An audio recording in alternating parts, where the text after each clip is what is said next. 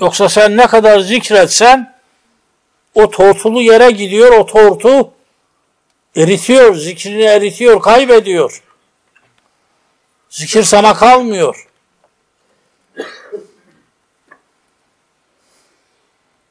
Hep söylüyoruz yani Kur'an niye buyuruyor feveylül lil musallin? Hem namazı emredecek, namaz için vele zikrullahi ekber buyuracak.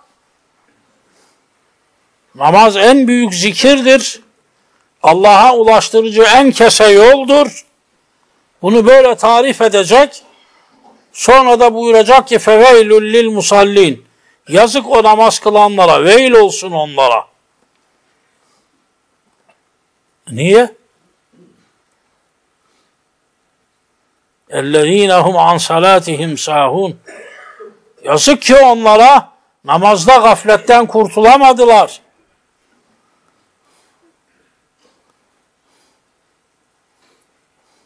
Namazın hatası illa namazın farzında, vacibinde, rükusunda, secdesinde değil.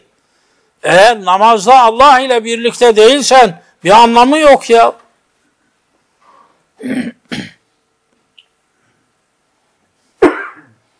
Evliyaullah öyle diyor. Biz namazda dünyayı düşünsek iade ediyoruz. Ahireti düşünsek sevi secde yapıyoruz. Bak onlar da namaz kılıyor. Aklımıza dünya gelse namazı iade ediyoruz diyor. Ahireti düşünsek, cennet cehennem dalsak, Allah'ın huzurundan uzaklaştık diye sevi secde yapıyoruz.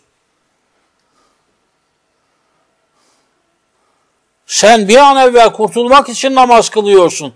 Borcunu kesme adına namaz kılıyorsun. Huzur için değil, Allah ile söyleşi, sohbet, muhabbet, aşk için değil.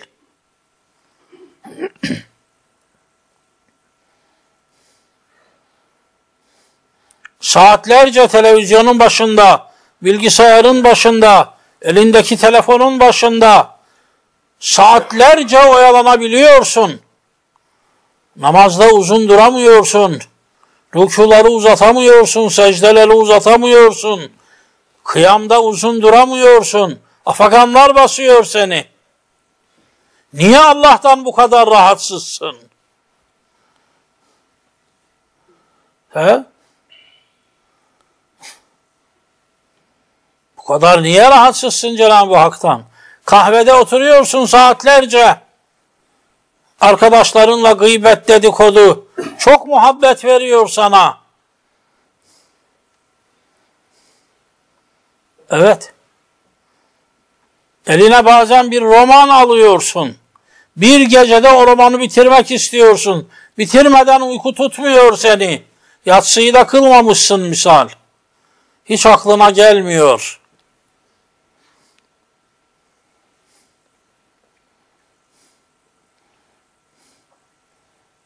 Ama sen sözde Müslüman, konuşmaya da geldi mi mangalda kül bırakmıyorsun. Onu bunu beğenmiyorsun. Evet.